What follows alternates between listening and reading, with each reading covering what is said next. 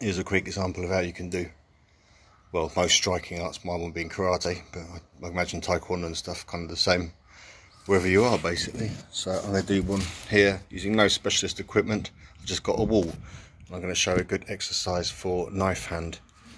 Uh, this part here the fleshy part how to um, strengthen it.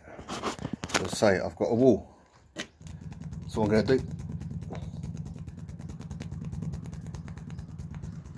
when you're starting off it's gonna you won't be able to do that long. Then as you get better at it pat-a-cake pat-a-cake bakers man. Start doing it with increasing hardness and just moving up and down.